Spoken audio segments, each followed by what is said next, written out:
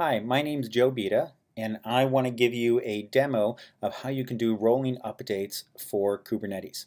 Uh, this is a little bit of a level 200 uh, talk on how Kubernetes work. It really brings together a bunch of the core concepts that I'm assuming you have some level of familiarity with already.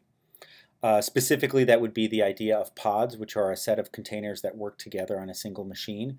Uh, how we can stamp out copies of pods uh, to do horizontal scaling using replica controllers.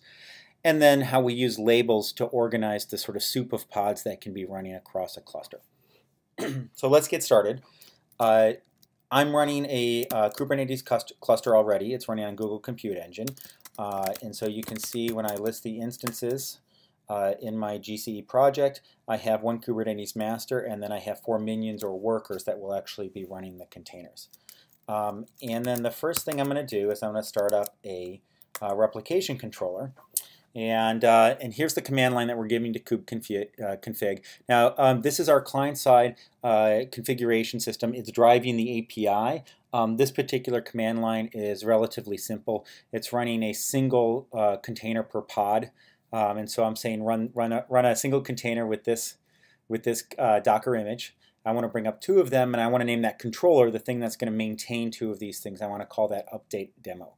Um, and here you can see uh, a dump of what we actually sent up with the API, and we're saying we want two of these things, and we also have the pod template here, um, which is what we're going to stamp out every time we need to create a new pod.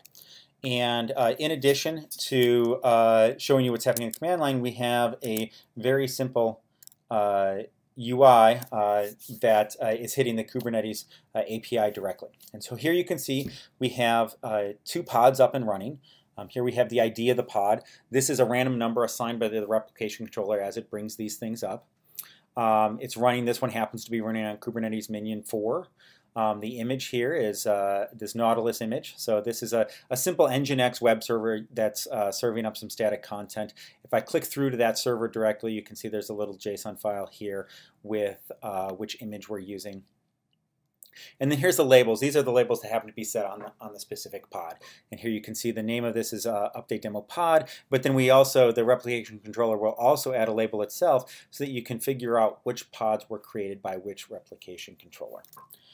Now, let's say that my Nautilus application is really popular. I can go through and I can scale this thing up.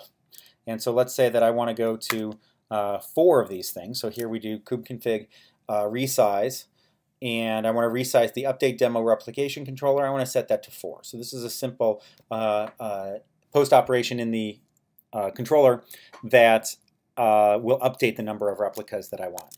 And, uh, and I can switch back and you can see these things are already up and running. And you can see that they're spread out across all my different minions.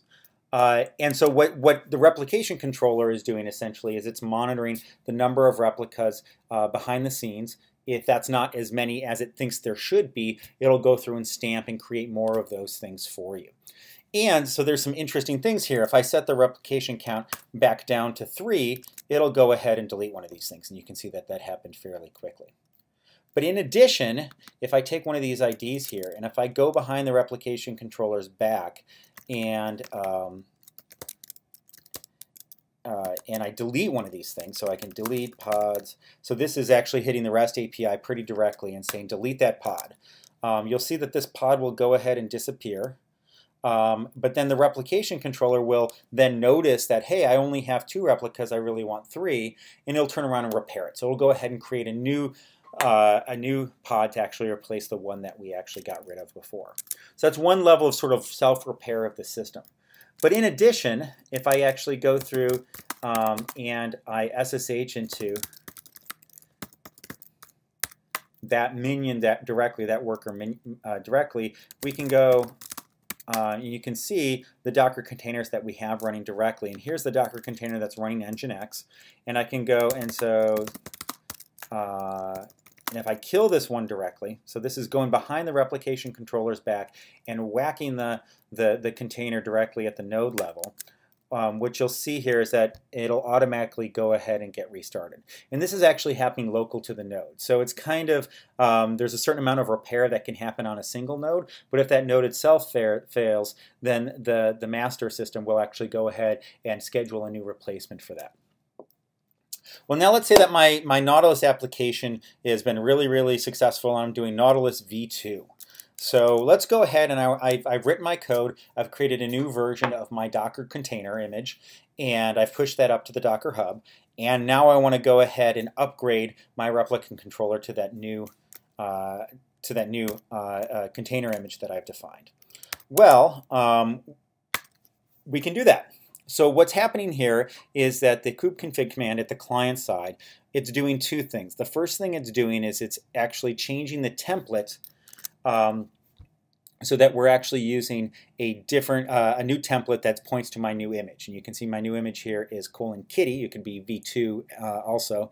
Um, and and then what it's doing is it's going through and it's killing each of the old pods on a one by one basis once every 10 seconds. It's accelerated for the demo purposes. And then it's relying on the replication controller to go ahead and repair what was there. And as it repairs it, it'll repair it with the latest and greatest new up-to-date version uh, with the new image. And so there you can see how something like the updating code, which is this is a fairly simple updater. You can imagine an updater that waits for the new version to come up, make sure that it's healthy before it actually moves on to killing the next, or it'll say, okay, I only want more than no more than three down at a time. So there's all sorts of interesting rep, uh, update strategies that you could use using these core primitives. Um, and then um, after I'm done, I can go ahead and bring everything back down. Um, and so the stop command will go ahead and set the number of replicas on my replication controller to zero. It'll wait for those things to be deleted. You can see that happens fairly fast. And then we'll go ahead and delete the replication controller itself. Um, if we didn't actually turn things down to zero before deleting the replication controller, we would leave those, those pods up and running, and they would essentially be orphaned without the replication controller. And that may be what you want. You may actually want to delete one replication controller and then create another one and attach it to the same exact uh, uh, set of pods that are always run, already running. And so the, the, the factoring between the replication and the controllers and pods is, is relatively loosely coupled, and that lets you do a lot of the interesting stuff, like the update that we're doing here. So hopefully um, that's interesting and you can understand a little bit more about how, how all the different pieces of Kubernetes fit together. And uh, thank you for listening. Stay tuned for more.